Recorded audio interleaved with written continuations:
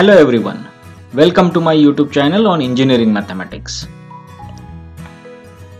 In this video, we are going to see linearity property of the Laplace transformation. Let us see the statement of linearity property. It states that L of a f of t plus b g of t where a and b are constants is given by a into L of f of t plus b into L of g of t. So let us see its proof.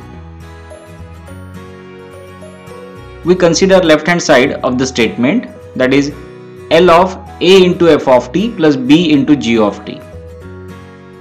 By integral definition of Laplace transform, we can write this as integral of e raised to minus st into a f of t plus b g of t dt over the limit 0 to infinity. Now we distribute this integral over this addition. So we have integral of e raised to minus st into a f of t dt plus integral of e raised to minus st into b g of t dt. Since a and b are constant terms, you can take them out of this integral. So we have a into integral of e raised to minus st into f of t dt plus b into integral of e raised to minus st into g of t dt. Now note that this is nothing but Laplace transform of f of t and this integral indicates or represents the Laplace transform of g of t. So we can replace these integrals by L of f of t and L of g of t respectively like this. So we can see that Laplace of a into f of t plus b into g of t is given by a into Laplace of f of t plus b into Laplace of g of t.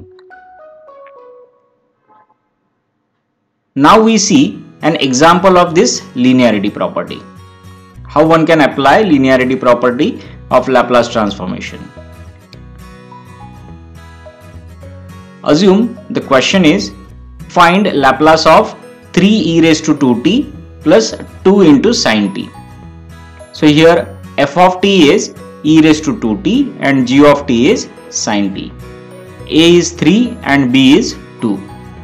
So by this linearity property we can apply this Laplace on every term of this expression. So we have 3 into Laplace of e raised to 2t plus 2 into Laplace of sine t in this way. We have already seen in my previous videos how to find out, find out Laplace of exponential term as well as Laplace of sine function. Using them we can write Laplace of e raised to 2t as 1 upon s minus 2 and Laplace of sine t as 1 upon s square plus 1. This 3 and 2 will remain as it is.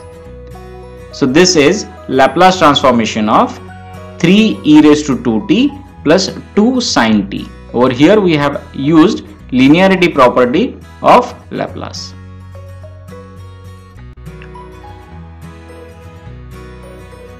Thank you guys for watching this video. Please subscribe my YouTube channel for more such engineering mathematics videos. Please press the bell icon to have updated information about my videos.